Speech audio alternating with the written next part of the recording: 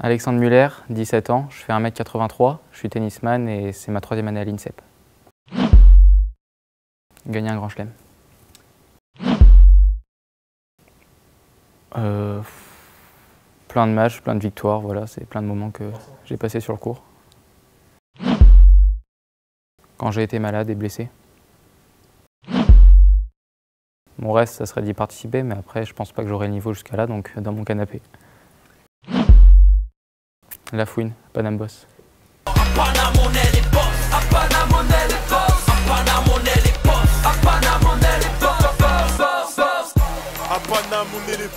c'est